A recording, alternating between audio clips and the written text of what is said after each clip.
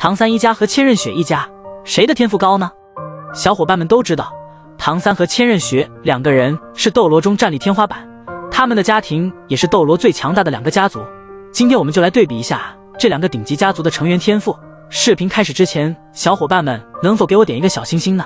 非常感谢。下面咱们直接进入今天的主题。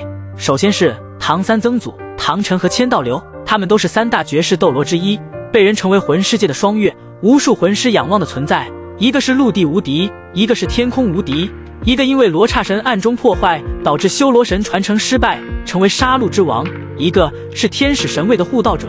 但据千道流交代，唐晨压他一头。第二就是父亲对比，唐昊对战千寻疾，这个大家都知道。当初唐昊和阿银被千寻疾追杀，最后阿银被迫献祭给唐昊，使得唐昊成功突破九十级，成为封号斗罗。在十万年魂环的加持下，九十级的唐昊犹如开挂，瞬间就击败了菊鬼斗罗，并且把九十五级的千寻疾打成重伤。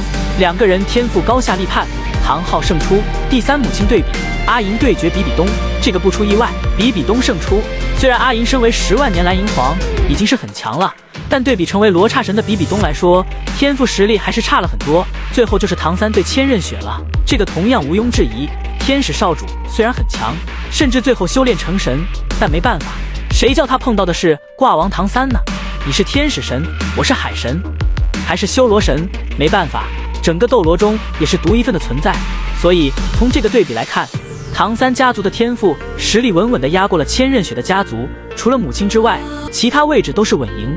而且别忘了，唐三还有小五这个十万年魂兽的妻子，而小五的背后是大明、二明和整个星斗大森林，而且还有海神岛和波塞西这个强大后援。